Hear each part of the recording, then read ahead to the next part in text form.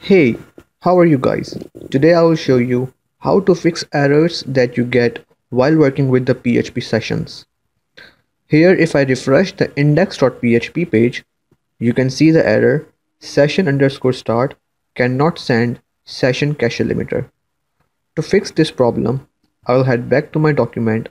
Here as you can see, I have defined session start function after the HTML code.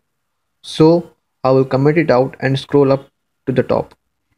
Here I will define session start function. After that, if I go to the browser and refresh it, as you can see, the error is gone.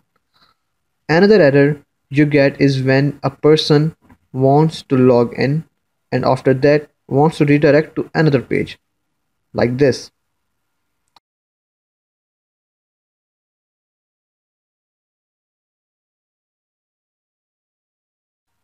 Here you see error cannot modify header information.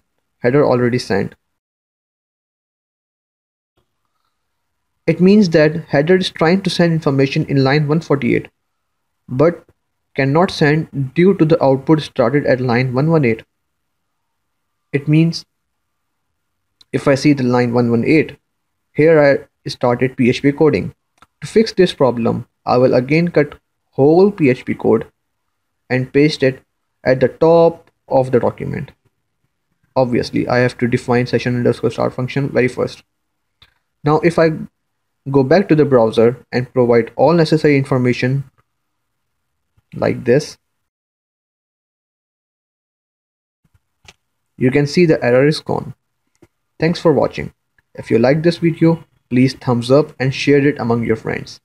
If you have any question, please comment down below I will try my level best to answer you.